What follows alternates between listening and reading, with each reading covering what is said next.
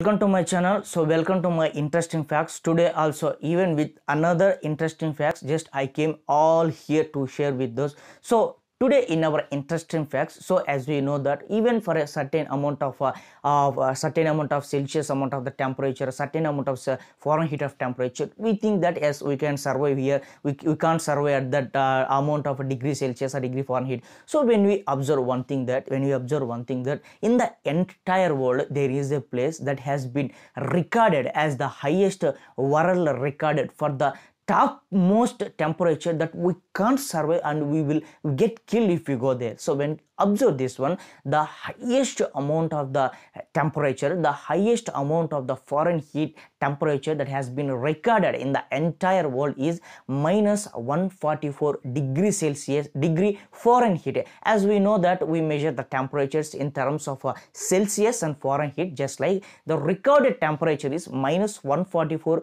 degree fahrenheit so this is the highest recorded temperature coldest temperature recorded in antarctica so one more thing is that when we observe when we induce that air into our lungs it sends a hemorrhaging into our lungs. It will damage completely and we get killed. So this is the highest recorded temperature. So this is all for today. So with another interesting facts i will come along with you and share the interesting facts. Thank you very much for watching this video